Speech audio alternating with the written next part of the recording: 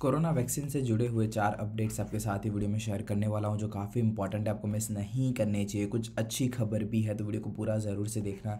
नए हो, चैनल पर पहली बार आए हो तो चैनल को कर दो सब्सक्राइब और साथ ही दबा दो बेल के आइकन को, ताकि आप कोई भी अपडेट जो है, वो मिस ना करो।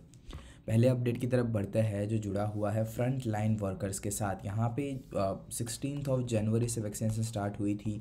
वो हुई थी हेल्थ केयर वर्कर्स के लिए और वो ऑलमोस्ट कंप्लीट हो चुकी है। तो अब जो है, फरवरी के फ़र्स्ट वीक से फ्रंट लाइन वर्कर्स को जो है, अब वैक्सीन मिलने वाली है। तो यहाँ पे फ्रंट लाइन वर्कर्स में आप किसे कंसिडर कर सकते हो? आसान भाषा में अगर एग्जांपल दूँ तो पुलिस फोर्स जो है, उसे आप फ्रंट लाइन वर्कर्स में कंसिडर कर सकते हो। और ऐसे दो करोड़ लोगों को वैक्सीन देने का प्लान है, जो यहाँ पे फ़र्स्ट वीक ऑफ़ फेब्रुआरी में स्टार्ट हो जाएगा। और सेंटर ने ये सारे स्टेट्स को बता दिया है।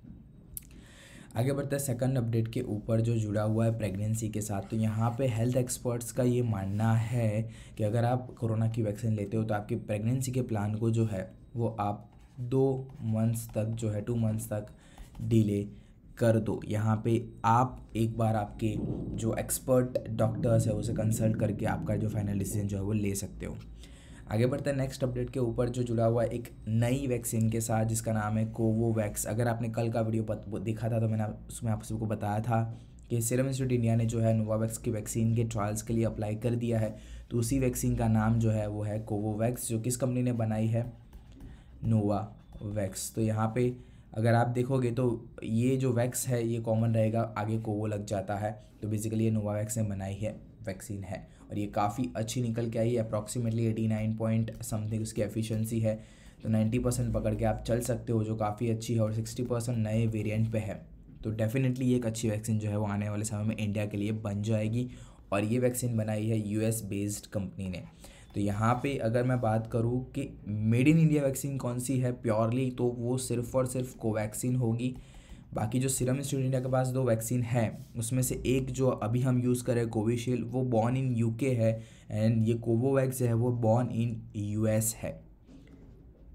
आगे बढ़ते हैं नेक्स्ट अपडेट के साथ जो जुड़ा हुआ है जर्मनी के साथ। अब यहाँ पे यूरोपियन यूनियन जो है, उसमें काफ़ी वैक्सीन की कमी जो है, वो देखने को मिल रही है। काफ़ी जो है, वो शॉर्ट सप्लाई है। तो ऐसे में यूरोपियन यूनियन ने कहा है कि हम लीगल एक्शन लेंगे। जो वैक्सीन को अगर डिले करोगे तो यहाँ पे पहले उन्हें मॉडर्ना की वैक्सीन डिले होते हुए दुखी और फाइनली अब जो एस्ट्राजेनेका की भी डिले हो रही है तो ऐसे में जो है वो लीगल एक्शन जो है वो ले सकते हैं क्योंकि उन्हें जो है वैक्सीन के सप्लाईज नहीं मिल रहे हैं। ऐसा ही होता है जब आप कम्प्लीटली रिले कर रहे हो किसी अदर कंट्री पे, जैसे कि वो अभी रिले कर रहे यूनाइटेड स्टेट्स के ऊपर कि वहाँ से डोज बन के आएगी। यहाँ पे इसमें अच्छी बात इंडिया के लिए ये है कि भाई इंडिया में ही वैक्सीन बन रही है। तो प्रायोरिटी जो है वो इंडिया को मिल जाती है और अभी तक एक भी बार ऐसा सुनने में नहीं आया है कि वैक्सीन के डोजेस नहीं है या फिर कम डोजेस है इंडिया के अंदर। तो ये अच्छी बात है इंडिया के लिए। आशा रखता हूँ आज का ये वीडियो आप सभी को पसंद आया होगा और यहाँ तक वीडियो देखा है ना तो एक लाइक का बटन तो बनता है। लाइक कर दो और साथ ही कर दो चैनल को सब्सक्राइब ताकि आप कोई भी अपडेट मिस ना करो। अगले वीडियो में आपसे मुलाकात होगी। तब तक के लिए जय हिंद, वंदे मातरम।